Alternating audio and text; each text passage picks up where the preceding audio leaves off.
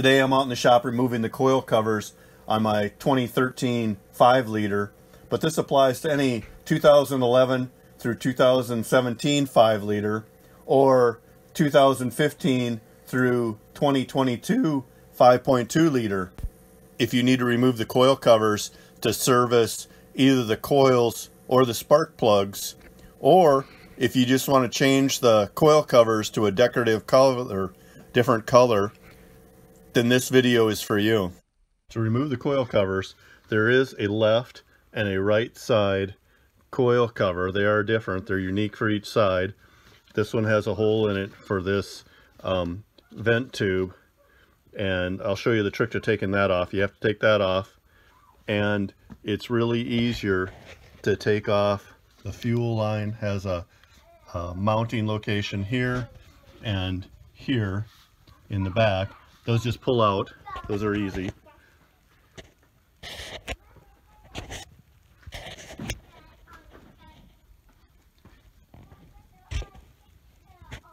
On the right side, you also have to take the tube off here, take the cap off.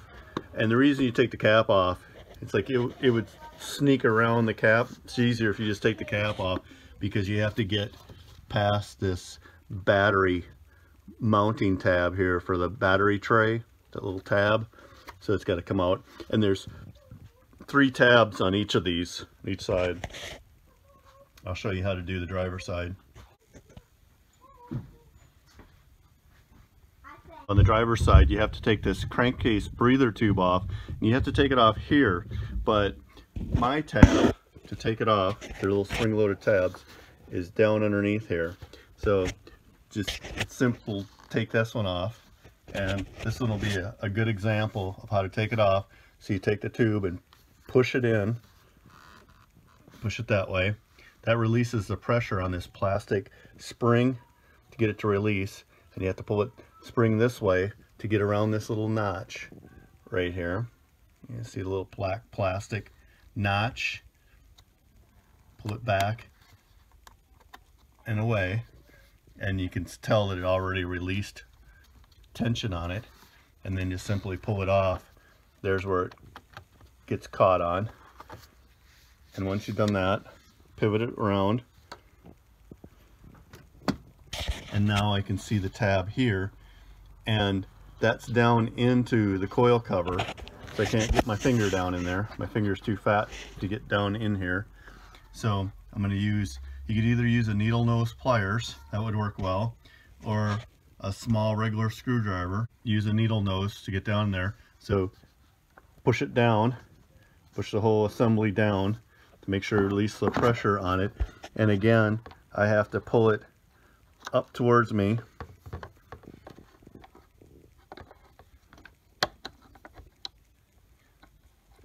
And then once I have, I can push it this way to get it to release.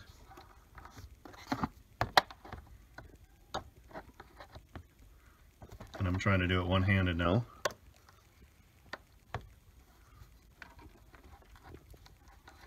locked itself back in. There it goes.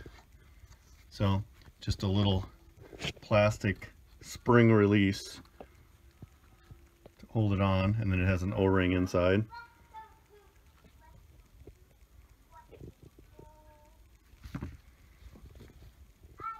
So then fuel line mounting location, this tab front and back just pulls out goes into uh, just a hole.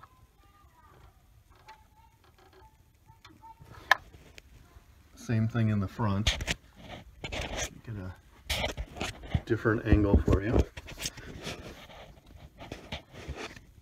here in the front, that just gets it out of the way or makes it so it, it can move.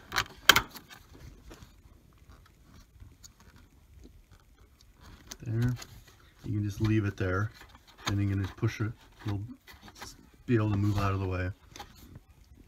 Same way in the back.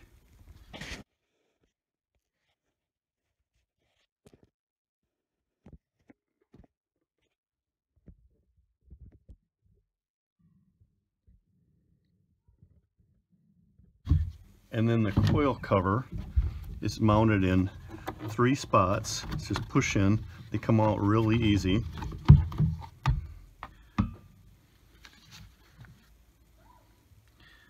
Has these three little replaceable little mounting locations and then it has corresponding studs. Let's see if we can find them. Right here's one. And here's one in the light. You see it better. And those are replaceable. Those just screw in if you need to. More than likely, you need to you need to replace these. And those you can buy on Amazon. I'll put a link to them in this video's description. So you can purchase those if you need to.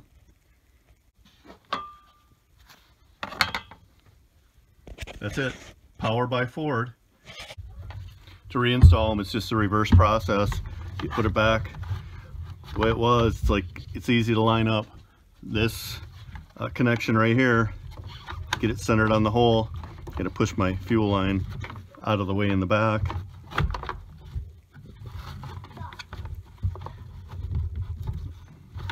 And again, line up that hole and then just push it back on. Snaps back in, nothing to it. And then the line just simply pushes on till it locks. Same way for here on this side. Pushes on and then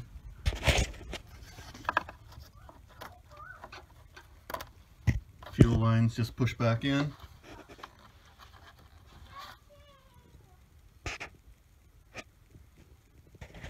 Now that concludes the video. If you found it helpful, let me know in the comments. And if you did, please subscribe. I look forward to your comments.